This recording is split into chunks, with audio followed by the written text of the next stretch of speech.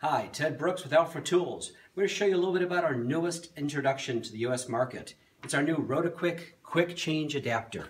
This is going to be a fantastic tool for anybody who changes bits more than just occasionally. Just a quick twist of the wrist, pops open the unit, put in your Rotabroach type tool, put in your Weldon shank, and simply let go, it grabs it. If you need to, it'll actually center itself and automatically grab the flat spots when you're finished.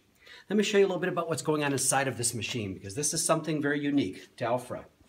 Inside you'll notice we have a solid piece of steel that's going to grab the flats and retract itself as you twist. That's going to grab the flats of any standard Weldon shank or yes, even Nitto shank. You can see how it simply retracts and then spring-loaded grabs that shaft again. If you do have a Nitto shank, there's something you need to know. Nitto shank has 120 degree angles on all of its flat spots.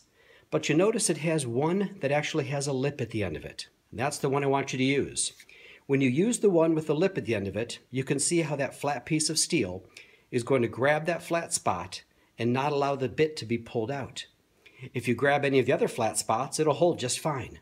But if you retract the cutter, you might find that the cutter stays in the steel and you've slipped right off of the shaft.